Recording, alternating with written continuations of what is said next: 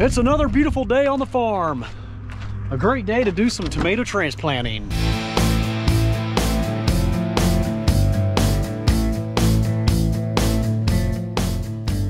Welcome back to Wishwell Farms, everybody. It sure is nice to see the sun. I actually got to wear my sunglasses in here today. It has been cloudy for so long, and it actually feels like summertime in here. It's glorious. So today, I am uh, going to be transplanting tomatoes into these four inch rock wool cubes. But first we need to mix acid and fertilizer into this tank of water to get the pH down to about 5.5 to 5.8 and get that EC raised up closer to 1.8 to 2.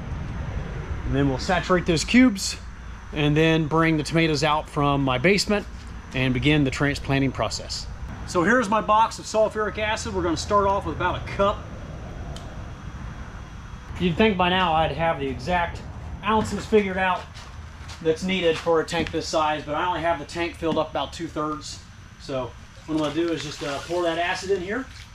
Then I use my handy dandy tomato stake just to stir it in a little bit. Once that gets mixed in good, I'll get my pH meter out and we'll give it a look and see how close we are. It takes a few minutes to get this uh, all stirred up well because you'll have some strong spots that are too acidic and then you'll have some spots that the acid has not reached. We're looking pretty good. Not sure if you can see that or not. 5.6. It's right where we want it. Next, I'm going to take a scoop of this starter fertilizer, a 91530. We'll just put a whole heaping cup in there. And then this container has calcium nitrate, 1500 I think. And I'm only gonna put half. So two to one.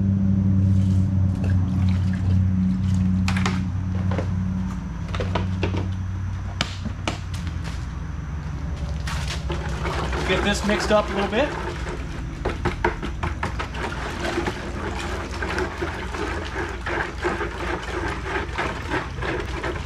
Takes a few minutes for the calcium nitrate to dissolve well.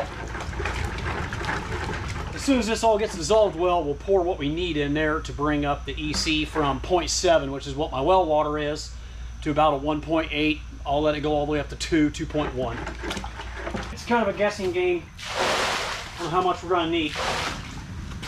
We'll start off with about half of it. And we'll see what we got for an EC here. It's looking like I'll need a little bit more. I'm about a 1.5 right now.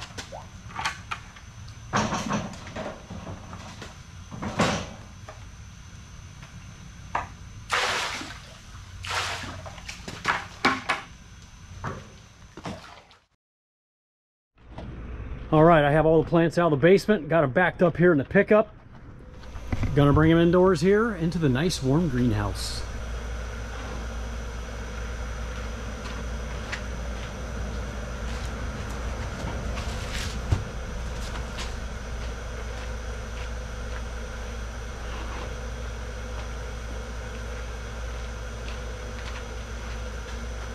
All right, I got the water right where I want it. A pH of about five and a half with an EC of 1.9 and the temperature is 70 degrees. So it's absolutely perfect and ready to get the pump in and saturate these cubes one more time to flush out all that uh, regular well water that's in them right now. And then we'll start the transplanting process.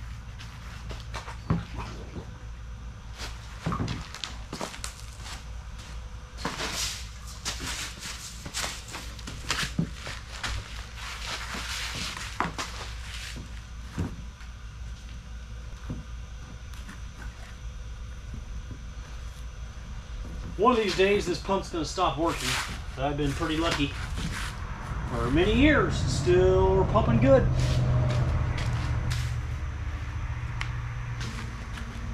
Sounds like it's still working. Yep. I'll go ahead and pump out all this uh, well water that's stuck in here.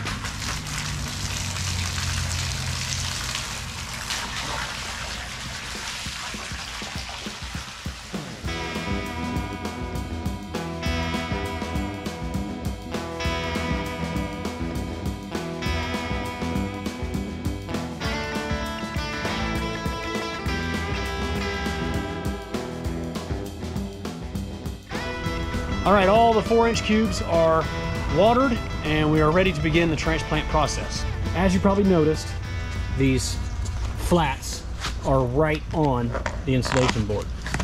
Now, once the roots grow through the block and I start to see roots coming out the bottom, I will take another empty flat and turn it upside down to put underneath this. So it props it up about an inch and a half, two inches, you know, the width of a flat. The reason I do that is because we want the roots to air prune. And what I mean by air pruning is that when they pop through the bottom of this cube, they'll come out to air and they will self-prune. They will terminate themselves or shoot the rest of their roots up into the cube to fill the cube up instead of them sprawling out the bottom of the cube and growing all over the uh, insulation board and it would be a complete disastrous mess. So that's why we want to prop those up to have them air pruned once they start shooting roots out the bottom and that'll be, oh I don't know, less than two weeks, maybe a week and a half and uh, the roots will be coming through the bottom of these cubes. So now we're ready to transplant the cubes. It's a very simple process. My kids have been helping me do this since they were like four. I mean, it's that simple of a job. It's just one of these time consuming jobs that many, many hands makes a lot simpler. But uh, now that all my kids are grown and pretty much out of the home, I still have my daughter still living at home, but uh, you know, she's always out doing her own thing. So it looks like it's just got to be me in here today, but that's all right. You know, in an hour I'll have it all done. It's not like it takes that long. All right, let me show you the process of transplanting the seedlings. All right, the first variety we are doing is Geronimo, and I'll put a tag there so we know what variety it is. Sometimes getting this started is a little difficult. We'll just grab a couple chunks out of here. Usually I break the slabs off in big chunks and distribute them. So here's what they look like on the bottom. I'm starting to see the roots coming out the side of the cube. Usually they're coming out the bottom by now, but they're a little smaller than normal because I'm about a week behind. So there's a one inch cube and it just goes right down the hole. Give it a little shove and that's all there is to it. And then these uh, extras that didn't have a plant, I'll just throw back in there and discard the trash. So here's a block of four and you can see there's one that didn't grow. So you just give them a little tear, pop them in the hole. You can use both hands at once. Really quick and simple. So I'll just break off some slabs like that, lay them around.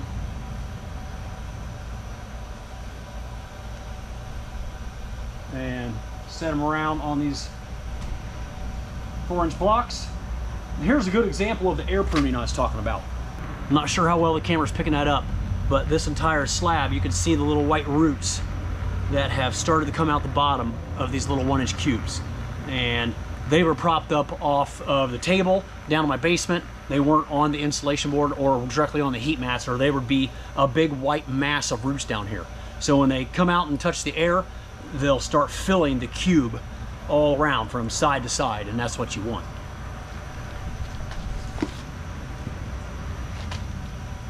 So now that you're watching me do this, you probably understand that uh, any little child with two hands can easily do this job. So these plants are currently about 12 days old.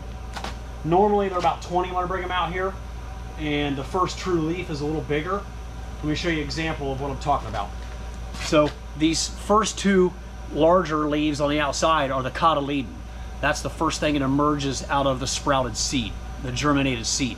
And then you can see right in the middle, that is the first true leaf that is uh, starting to emerge. So that's when we like to transplant these. Normally the first true leaf is about the same size as the cotyledon when I do the transplanting, but uh, by then the, they're getting about three inches tall and they're just getting too crowded in that tight space in my basement. You know, there's 100 cubes in that flat and that's just too many when the plants get that big and they start crowding each other out. So this is the perfect time to do the seedling transplanting when you start seeing the first true leaf like that. In about a month from now, these plants will be all 12 to 15 inches tall with little tomato clusters starting to form and that's when we'll move them into the large greenhouse where they will be set into the Dutch Bato buckets and remain for the, the entirety of their lives, which is, well, you know, sometime in September we'll probably rip them out. once the field tomatoes are coming on really strong, we'll uh, usually be done with the hydroponic tomatoes.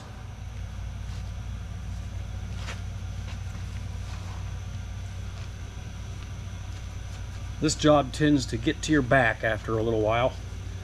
So you just gotta make sure you bend at your knees so you don't injure your back.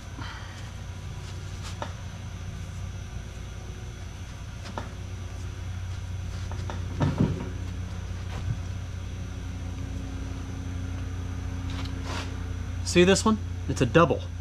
Two seeds accidentally got dropped in the hole. So you just gotta pluck one. You hate doing that because that's an expensive seed. 80 some cents per seed. But you can't have doubles. Every plant needs to be a single.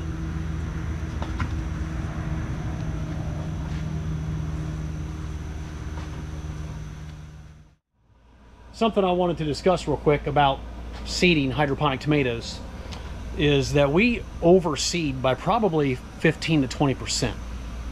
And the reason we do that is because germination rates are not 100 percent somewhere probably between 90 and 98 is pretty typical. Especially when you're seeding in a dead of winter in mid-January. And if you don't have your heat just right, you know, you're gonna have worse germination. So we wanna overseed so we have plenty of seeds. Also, because we wanna choose the best of the best. So I would rather have too many to choose from. That way, if there are some underdeveloped or scrawny, worthless looking plants, I will leave those behind, we'll call those and we'll just plant the best ones. Now, when these go to be put, are ready to be put in the main greenhouse here next month, we will also go through a weeding process, weeding out the, the weakest ones, the scrawniest ones, and leave those behind. So these four inch cubes, we will over, we're over planting by at least 10% because not every one of them are gonna grow into a perfect tomato plant. So by doing that twice, that ensures us to have the best, healthiest plants possible to grow out to maturity. So here's a perfect example of why we overplant. If you look at these closely, you can see how little and pathetic they look. Those are not healthy plants. But it looks like my germination rate was better than I expected because I have an entire flat of 100 seeds left over of Geronimo. Um, if I planted all those, I would have far too many, and it's better to have too many now than later because I don't have a lot of input costs into these growing these right now. Just the seed costs, a little bit of time watering them and putting lights on them. So yeah, unfortunately we're gonna have way too many plants this year, but that is a good problem to have. You would rather have way too many good plants than not enough because then you're in big trouble. Well, folks, another day of greenhouse farming in the books. Feels good to have the transplanting done, and I feel like we're finally making some headway and getting caught up. I might even have time to go out for a run before it gets dark. If you enjoyed the content, don't forget to like and subscribe, and I will see you again real soon down on the farm.